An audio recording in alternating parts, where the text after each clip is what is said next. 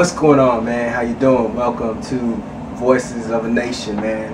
This is this is the first show that I'm going to do a series of show, and it's going to be discussing, you know, real life issues. You know what I'm saying? And I, am going to going to in, introduce uh, videos and different things or different projects I'm going on, but this is just covering all different things that's going on in the world. There's so many things that's really important that's going on with the world today. And um,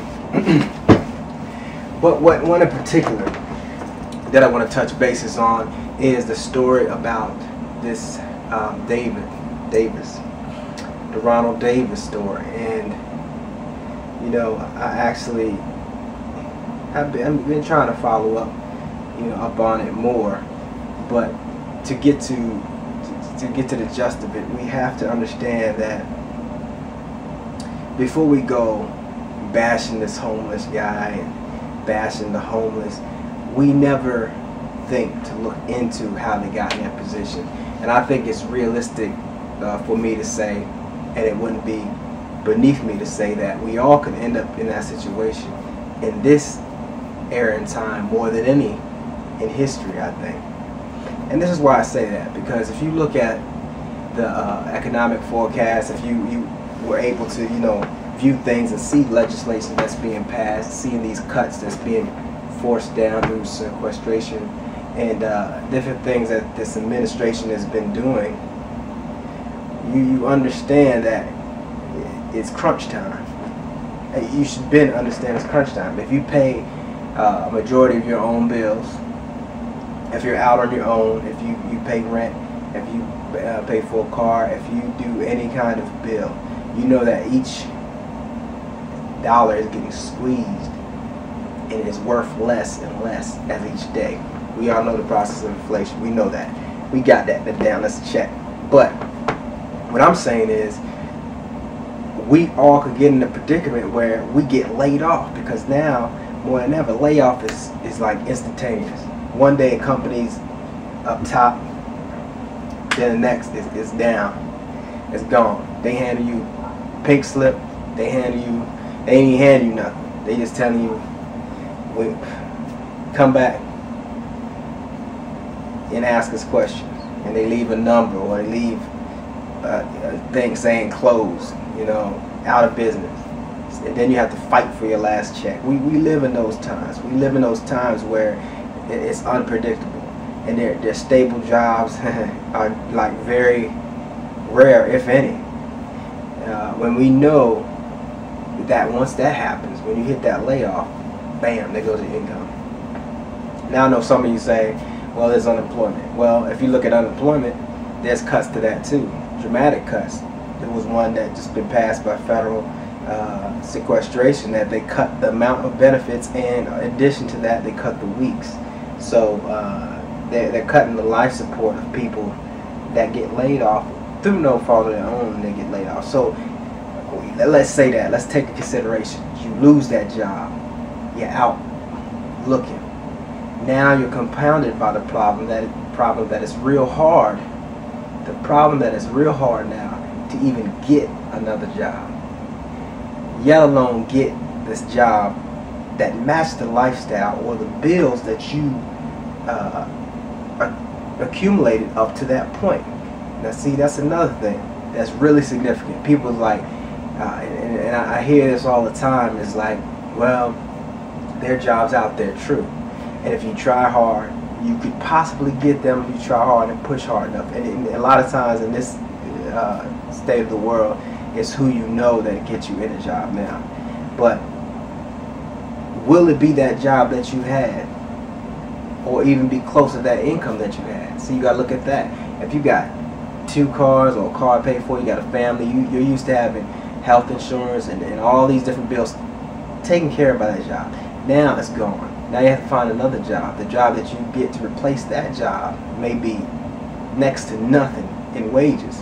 So you're still behind till you get that job. Then when you get that job, you're not only playing catch up, but you still have to eliminate some of the resources you had before that. So it's real. It, it takes like nothing for an empire to fall. We know this. It takes years to build an empire. It takes years to build a family. It takes years to be to build a, a relationship. It takes years to build strong love.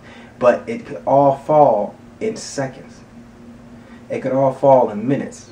You know. So um, during this downward spiral, any one of us could find ourselves. If we didn't have family to depend on or that mom or dad to come back home to we would be homeless too. There's a lot of us that's listening now that would be homeless and didn't have that friend if they didn't have that other roommate or if they didn't have that other uh, family member that let them in.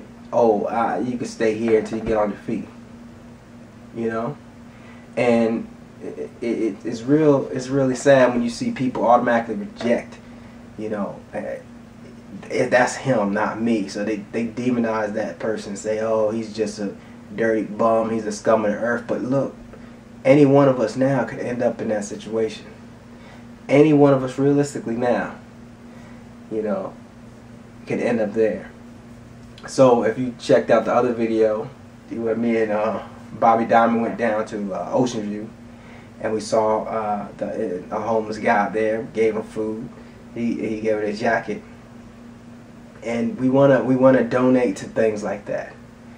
You could donate to Project 90s, and you could say um, to the homeless. You could you could donate by uh, getting a T-shirt.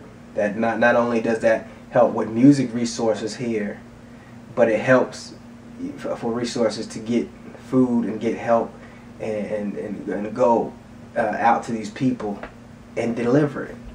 And I'll record it. I will record giving those different um, uh, resources to these people that are out scattered that really need that assistance. And and there's no there's no catch to it. There's no um, hidden contract. There's no uh, there's no interest rate for those people. It's just given out of the freeness of the heart. There's nothing there's no strings attached. Absolutely you know strings attached and we got to understand that we all can be that person. We all can be in that situation where we lose our job, we lose our home, and we're homeless. Don't take that long. I'm telling you. The spiral down is quick, deadly and quick.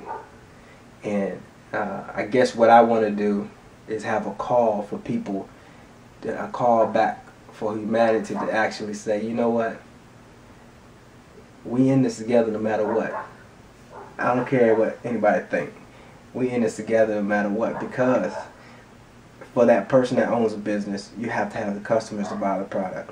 So you still need the other people around you. I don't care, I don't care how you think about it, but we all need each other. We all eat off of each other. If you break it down, if you, if you can go deep enough, if you can open your mind enough, you you know that everything is give and take. You know, so once you once we feel real, I think once we get to the universal thing of that, understand that we all in this together, and then uh, we can move together as a nation, but not divided as a Republican, Democrat, and uh, this and that.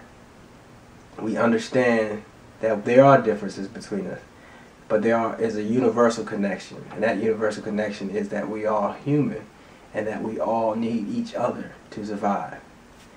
Anyway, this your boy Zoe, and you know, check out those shirts, check out those uh, videos, the video uh, with Bobby Diamond Project where we hand delivered food uh, and to the homeless, and also, so beautiful video released Memorial Day.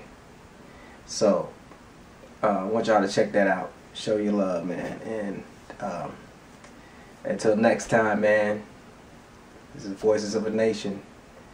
Your boy Zoe. God bless y'all.